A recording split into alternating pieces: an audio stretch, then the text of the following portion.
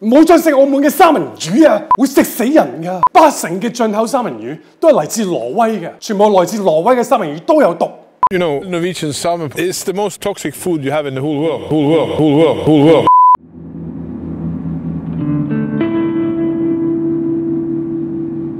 A rural road in western Norway. Floating on cold water, fish farms, wherein lie one of the country's most hidden treasures, farmed salmon. Kurt Oddekalv is one of Norway's most respected environmental activists. He has gone to war against salmon farmers who, according to him, are responsible for a large-scale health disaster.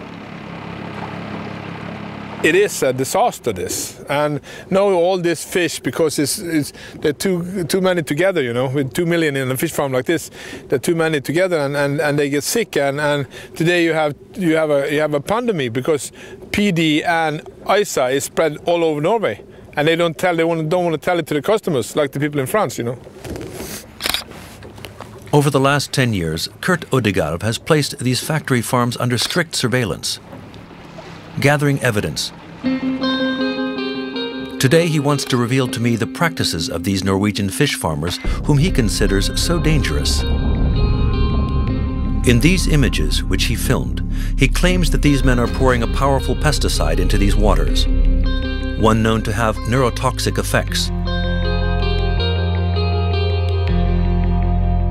They must protect themselves with work suits and gas masks from chemicals to treat salmon attacked by pests and diseases which abound in these farms. You will find different kind of ivermectin. You will find uh, you will find uh. You know all kind of chemicals, and that's that's disgusting. You know, you know it's it's nothing for people to eat. I mean, you know, Norwegian salmon is the most toxic food you have in the whole world.